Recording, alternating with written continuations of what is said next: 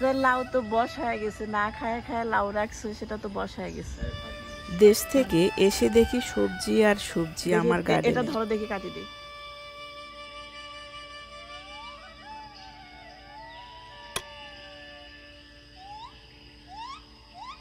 আসসালামু আলাইকুম আপনারা সবাই কেমন আছেন? আমরা তো আলহামদুলিল্লাহ অনেক ভালো আছি। আমেরিকাতে এক টুকরো মাটিতে আমার সোনার ফসল। সত্যি, বিচি থেকে গাছ হয়, সেই গাছে ফলন আসে। সেটা দেখতে যে এত ভালো লাগে, আর এই ভালো লাগাটা আসলে কাউকে বোঝানো যায় না। এটা একান্ত মনের ব্যাপার।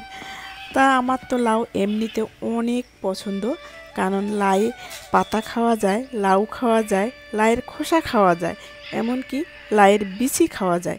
লাইয়ের কোনোটাই বাদ যায় না। এ কারণে লাউ আমার অনেক পছন্দ। তাই এদিকে আমার ফুলের গাছের মাঝে মাঝে কিন্তু সবজি গাছ আছে, সেটা কিন্তু ঠিক বোঝা যায় না।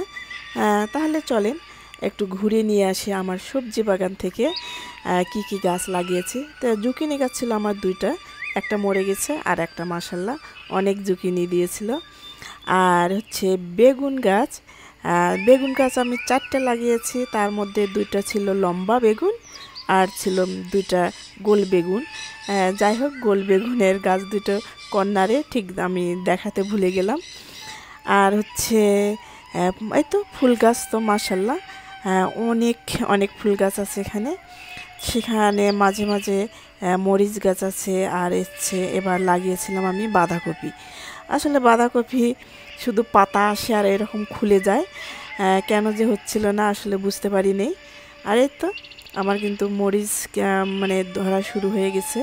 আসলে কেমন হবে জানি না। অলমোস্ট কিন্তু অনেক ঠান্ডা পড়ে গেছে। হয়তো গাছগুলো থাকবে না। এই রকম ফ্রেশ গাছ যে কোনো সময় মরে যাবে। আর এদিকে টমেটোর গাছ ছিল আমার চারটা। আসলে চারটার ভেতরে যে এত টমেটো টমেটো দিয়েছে এবার মানে অন্য রকম টমেটো এখনও কিন্তু প্রচুর কাঁচা টমেটো আছে। আর আমার মাচা কিন্তু, লাইয়ের মাচাটা ছিল অনেক উঁচু। তাই লাউ পাততে সবসময় আমার হেল্প লাগতো। যেটা ছোটো মোটো আমি হাতও পেতাম সেটা আমি নিজেই পেরে নিতাম আর যেগুলো উপরে সেসব পারার সময় কিন্তু আমার হেল্প লাগতো। তাই তো আমার কবিতরগুলো আমি ছেড়ে দিলাম। মানে আমি যখনই বের হই, তখনই ওরা অনেক কিচির মিচির শুরু করে দেয় বের হওয়ার জন্য। তাই ওদেরকে একটু বের করে দিলাম।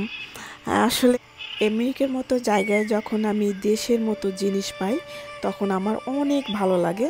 আর এই তো সবগুলো আমার বাসার সবজি। দেখতে এত ভালো লাগছে। এই আলুগুলো একটা আলুর থেকে হয়েছে। এটা আমার মা লাগিয়েছিল সামারে। এখন অবশ্য আমার মা এখানে নেই। ভাবলাম যে ভিডিও করি, আমার মা দেখবে যে রান্না করতে ধরে একটা আলু লাগিয়েছিল। বলছি তা আর পারব না। কি ওই আমেরিকানটা ওই ওই আমার শর্টে কিনছি। এই গাছটা টবে দেখো না কত সুন্দর হয়েছে। হ্যাঁ। মানে ঝাউ হ্যাঁ মাছি নাই। বিদেশের মাটিতে আমাদের এক হাতে সবই করতে হয় যার যতই ব্যস্ত থাকি না কেন যতই কাজ করি না কেন আমার কাজের ফাঁকে একবার আমি আসি আমার গার্ডেনে সত্যি আমার অনেক ভালো লাগে। তাই এই এত সুন্দর গাছগুলো কিন্তু আমার যে কোনো সময় মরে যাবে।